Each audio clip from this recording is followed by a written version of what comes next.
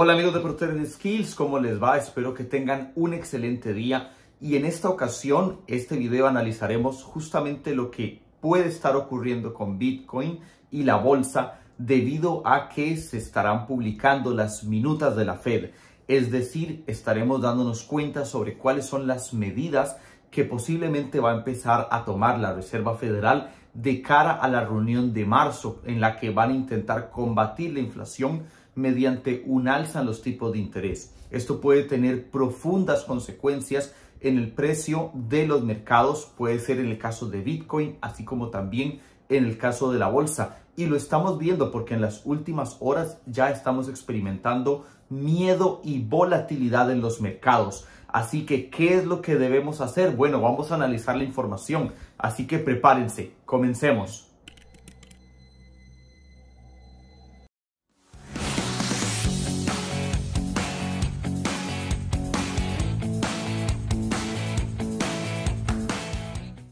Bueno, amigos de Protein Skills, como les comentaba entonces, el día de hoy tendremos las minutas de la Fed, van a revelar lo que estuvieron trabajando o lo que estuvieron decidiendo en la reunión de política monetaria del 26 de enero, es decir, las minutas que tendremos el día de hoy van a ser las, eh, la hoja de reunión o por decirlo así, el informe de lo que se estuvo trabajando en la Fed a finales de enero. Recordemos que para ese entonces también tuvimos la última reunión de la Fed.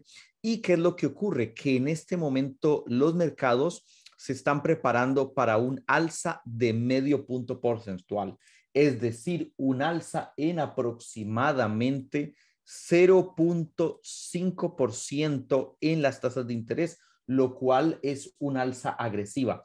En primera instancia, eh, el Jerome Powell, el presidente de la Fed, mencionaba de que se iba a iniciar con 0.25, es decir, con la mitad. Sin embargo, debido a una elevada inflación, que es lo que hemos estado eh, viendo según el último informe, tenemos la inflación más alta en muchísimo, pero muchísimo tiempo. Y esto justamente irá haciendo eh, influencia en que los señores de la Fed tengan un movimiento mucho más agresivo o tengan un discurso bastante más eh, fuerte. De hecho, que ahora la Fed se está preparando para incluso eh, subir una cantidad de veces o una, una cantidad más numerosa de veces las tasas de interés según cómo se vayan desarrollando las reuniones. Lo que antes era posiblemente solamente dos o tres tipos, de subidas o tres tipos de aumentos podrían llegar a ser incluso cuatro o cinco. Entonces, ¿qué es lo que ocurre? Que el día de hoy el desarrollo de este informe va a tener profundo impacto y nos va a decir qué es lo que podemos esperar para marzo. El otro tema es la hoja de balance, como lo hemos mostrado, el tema de la compra de bonos eh, ya es prácticamente un hecho de que se va a cerrar o va a terminar de desarrollarse en marzo. Eh, ese programa de compra de bonos terminará en marzo, como justamente el mercado lo está descontando y lo está esperando. Y ahora empezaremos a ver un sistema en el que la Fed va a estar apretando la faja y va a estar empezando a contraer la masa monetaria para combatir la inflación. Esto justamente es para lo cual los mercados eh, en este momento están mostrando alta volatilidad. De hecho, que si vemos el SP500 el día de hoy, Ayer tuvo pues un movimiento alcista, sin embargo el día de hoy los mercados se están mostrando con eh, inseguridad, se están mostrando con miedo según lo que nos indique este informe. Ahora, ¿qué podemos esperar? Bueno, en primer lugar, el informe de hoy va a ser muy importante para poder tomar en cuenta qué será lo que desarrolle la Fed en marzo que es la decisión final o es, por decirlo así, el comunicado de prensa para hacer efectivas sus decisiones. Sin embargo, pues bueno, es normal ver miedo y ver pánico en los mercados, especialmente porque históricamente un alzan los tipos de interés y eh, un programa de venta de bonos, es decir, lo contrario a la compra de bonos por parte de la Fed, ocasiona fuertes caídas, ocasiona fuertes, eh, fuertes movimientos bajistas. Sin embargo, sin embargo, eh, la razón por la que no les decimos fácilmente que el mercado se cae de golpe y que entren a la baja ya en este momento, eh, cosa que de momento no hay que hacer, es porque en ocasiones los mercados financieros, eh, el SP500, el Dow Jones, los índices bursátiles suelen tener movimientos alcistas antes de que eh, las políticas monetarias de la Fed terminen haciendo que los mercados caigan. Es decir, históricamente los mercados suelen tener movimientos bajistas en periodos agresivos de la Fed, usualmente. Sin embargo, no quiere decir que se tenga que caer hoy mismo. Ahora, si la bolsa puede llegar a tener una valorización, e incluso el cripto también, a mediados o durante este año 2022, pues esa sería una última oportunidad de una valorización. Y ya posteriormente, si el cambio de tendencia se da totalmente confirmado, cosa que, pues bueno, como dice Jim Rogers, ninguna tendencia es para siempre. En algún momento se puede dar un fuerte movimiento bajista, eh, es completamente normal en los mercados, pues bueno, por lo menos ya se generó un último impulso alcista. Y esto es algo muy importante que tenemos que tomar en cuenta. Por eso no hay que salir corriendo a vender todo ya, entrar en pánico ya, solamente ir con cuidado. Ahora, desde el punto de vista de nuestro análisis, aquí tenemos varias cosas importantes. El primer punto es que la zona de los 4200 es extremadamente importante. Siempre y cuando el SP500 se mantenga arriba de este nivel, es decir, arriba de los 4300, 4290, es decir, en esta zona, el SP500 puede intentar una recuperación. Y esto es importante, ¿por qué? Porque una vez se desarrolle el informe, el mercado usualmente va a durar digiriendo la noticia entre el día miércoles, el día jueves, el día viernes. Eh, si el SP500, luego de ciertos movimientos de volatilidad, logra establecer un soporte, logra establecer eh, que esta zona, tal vez de los 4.360, es un soporte fuerte y empieza a recuperarse por encima de los máximos de la semana pasada, es decir, por encima de este nivel. Lo vamos a determinar por encima del nivel de los 4.595, 4.600. Podríamos ver lo que les comentaba, que podría desarrollarse un próximo impulso alcista en bolsa. Eso podría ser posible si el mercado toma de buena manera el desarrollo del informe y podríamos entonces eh, ver ya un movimiento alcista que quizás se desarrolle hasta el mes de marzo, donde en marzo nuevamente tendremos eh, que enfrentarnos a la Fed y ya va a venir Powell con toda su potencia eh, a decirnos cuál será la política monetaria clara a desarrollar en los próximos meses.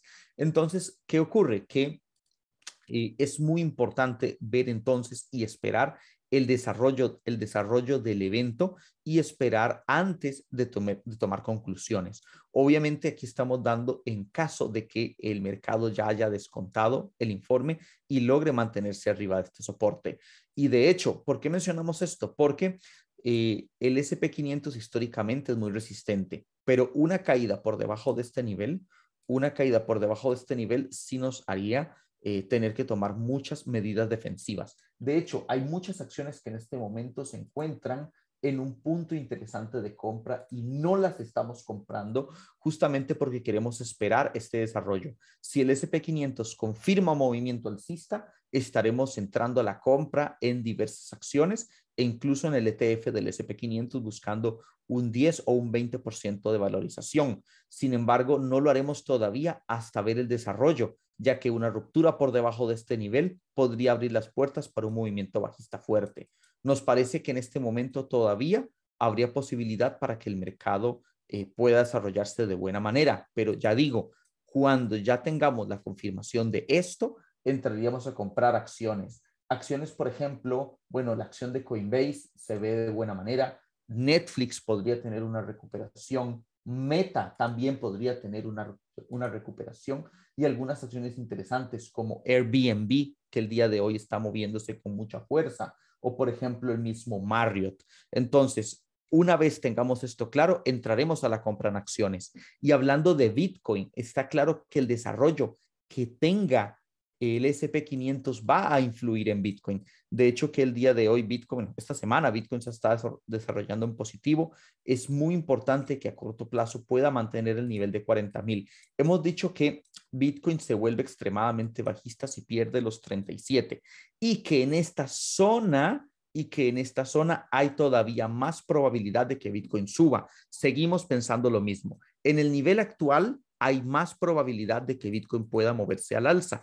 Y si el SP500 toma el informe de manera positiva, Bitcoin podría moverse de manera positiva. En el video pasado de YouTube les dijimos que estuvieran pendientes del nivel de 42 mil y el nivel de 41 mil 600, que eran buenos puntos de compra. Quienes estuvieron a la compra en estos puntos en este momento están en positivos y están tranquilos esperando. Nosotros también estaremos esperando. Ahora, sí estamos comprados en Bitcoin.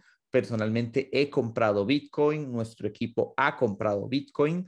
Eh, hemos estado eh, comprando Bitcoin entre los 41.500, los 42.000. Esta zona me parece que es zona de compra y el stop hemos recomendado tenerlo por debajo de 37. Sin embargo, voy a ser todavía más conservador y dar un paso hacia adelante y decirles que incluso perder el nivel de 40 mil dólares ya sería muy negativo. Esperaremos con calma, pero ya perder el nivel de 40 mil ya sería negativo. Posiblemente subamos el stop a la zona de 38,800, eh, 38,900 para tener el riesgo eh, mejor protegido, es decir, tener un margen de riesgo más pequeño, ya que si queremos ver a Bitcoin moverse al alza, debe romper los 46 mil. Obviamente, si llega a romper los 46 mil, el siguiente target será de 55 y de 61. Y mientras tanto, lo que hacemos es plantearnos compras en este rango bajo, poner un stop entonces en el nivel de 38,500, 38,600. Eh, posiblemente lo estaremos haciendo es decir, veremos cómo se desarrolla, pero posiblemente lo estaremos haciendo. Y si Bitcoin logra mantener los 41 al alza y moverse hacia los 46, tendremos una buena operación. ¿Qué pueden hacer ustedes? Pues bueno, si han comprado en estas zonas, ponen su stop y se mantienen tranquilos según cómo ustedes trabajen su estrategia. Ya por debajo de estos niveles, ya estaríamos pensando en una operación bajista. Sin embargo, a día de hoy, Bitcoin todavía podría tener un movimiento al alza Así que justamente estaremos esperando el desarrollo. De hecho, que tendremos todo en marcos temporales cortos. Vemos cómo Bitcoin en 15 minutos rechazó esta zona, producto del miedo que se encuentra en este momento en los mercados. Y siempre y cuando se mantenga por arriba de este nivel de 41 mil, los toros siguen teniendo fuerza. Una caída por debajo lo haría ir al soporte de 40 mil y por debajo del soporte de 40 mil las cosas se podrían poner negativas. Entonces, todavía Esperamos que el mercado pueda marchar al alza, sin embargo, tendremos mucho cuidado en cripto y en acciones también estaríamos eh, con mucha precaución. Sin embargo, la diferencia es que con cripto ya estamos comprados y en acciones estaremos esperando al desarrollo justamente para poder tomar una decisión de compra o si vemos que los mercados caen, tenemos que tomar las medidas necesarias para protegernos y les recomendamos a todos lo mismo también como algo muy importante, todas aquellas personas que deseen unirse a nuestro equipo en este mes de febrero van a poder tener la oportunidad de, además de recibir nuestra formación eh, con respecto a nuestras estrategias, nuestra forma de operar el mercado, así como también nuestro acompañamiento, adicionalmente tendrán la oportunidad de recibir una formación eh, referente a la blockchain, referente al DeFi, al staking y a los NFTs. Esto se llama Total Trader, es decir, es eh, un programa que mezcla no solamente nuestra formación eh, en los mercados financieros, sino también en el tema blockchain, en el tema DeFi, en el tema NFTs y en el tema staking. Es muy interesante, es una formación bastante completa que va a estar disponible en nuestra plataforma educativa para aquellas personas que también estén uniéndose a nuestro equipo. Esto será durante el mes de febrero, así que pues bueno, será una oportunidad muy interesante para también aprender sobre cómo poder desarrollarse y tener una formación no solamente dentro del ámbito exclusivo del trading y las inversiones, las acciones, eh, Bitcoin, las altcoins, sino también dentro de todo lo que es el tema eh, blockchain, todo lo que es el tema NFTs, así como también todo lo que es el tema staking, que es muy interesante, y por supuesto el tema DeFi. Toda la información va a estar en la descripción de este video, así como también en el mensaje eh, piñado que vamos a poner justamente al inicio de los comentarios. Y por supuesto, con respecto a los mercados financieros y a lo que estaremos desarrollando con Bitcoin, así como también con la bolsa el día de hoy, en esta semana, déjenos su comentario, déjenos la altcoin que a ustedes más les gustaría. Bueno, entonces en conclusión estaremos muy pendientes analizando la respuesta del mercado una vez tengamos el informe el desarrollo del SP500 va a pesar mucho sobre Bitcoin. Sin embargo, tanto el SP500 como Bitcoin todavía se encuentran en zonas donde podrían moverse al alza. Sin embargo, hay que tener mucho cuidado. Por eso en el caso de Bitcoin las compras recomendadas eran entre el nivel de 41.500 y 42.000. Una caída por debajo de los 39 podría poner las cosas bastante peligrosas para Bitcoin, así como una caída del SP500 por debajo de los 4200 podría complicarlo mucho. Sin embargo, eh, vamos a esperar el desarrollo, ya que podría darse el caso de que tanto la bolsa como Bitcoin puedan tener en los próximos meses un último movimiento alcista antes de que eventualmente todas las políticas restrictivas de la Fed empiecen a hacer efecto. Y si eso llega a ser así, por supuesto que vamos a aprovechar esa oportunidad y vamos a aprovechar eh, justamente ese último movimiento para también después encarar un quiebre completo eh, en los mercados. Iremos poco a poco. Si esta información les parece importante, por favor dejen su pulgar arriba, coméntenos cuál es la acción o cuál es la altcoin que les gustaría que estemos analizando, que tengamos presente para próximos videos, porque en base a todo esto podremos entrar a la compra en muchas acciones o podremos entrar a la compra en diversas altcoins que se encuentran en puntos muy interesantes. Nos vemos y muchos éxitos. Hasta pronto.